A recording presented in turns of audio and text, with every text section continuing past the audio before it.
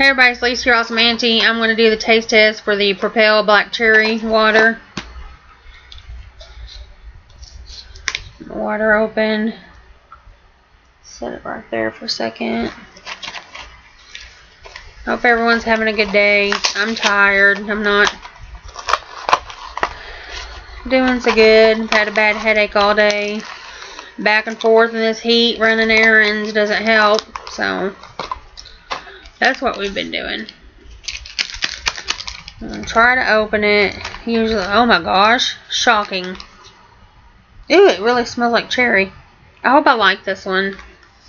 I get tired of drinking the same stuff. I either drink my lemon tea or I'll drink my Starburst blue raspberry.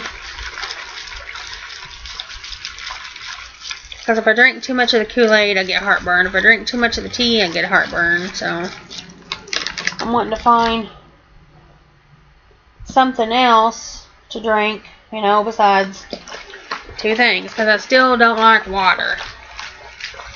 Okay.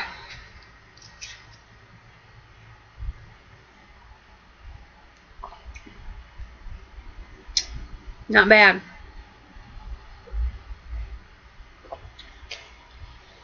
Mm.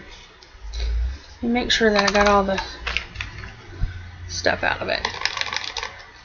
But sometimes I don't. It tastes pretty good. It's a little bit sour, but not not too bad. Maybe I just need to shake it up more.